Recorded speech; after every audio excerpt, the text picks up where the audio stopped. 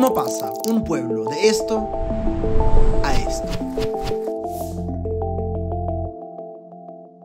A primera vista, esto es un pueblo regular, donde viven familias, lleno de escuelas y parques. Pero si le echas un vistazo más de cerca, encontrarás un búnker subterráneo lleno de secretos. Debajo de estos hogares regulares hay túneles de decenas de metros de largo, donde está almacenada todo tipo de infraestructura terrorista. Hezbollah se ha aprovechado de los pueblos libaneses, usándolos para avanzar sus propias necesidades y atrincherando infraestructura terrorista a su alrededor. Hezbollah creó un bastión terrorista en Farkila y estaban planificando usar este pueblo a aproximadamente 300 metros del pueblo israelí de Metula, el cual ha sido destruido por Hezbollah y completamente evacuado para poder invadir Israel a través de la operación Conquista de la Galilea. Así que la respuesta a nuestra pregunta Hezbollah convierte estos pueblos en centros de terrorismo y Kfarkila es solo uno de los lugares en donde hemos encontrado armas, lanzacohetes y túneles terroristas dentro de áreas civiles.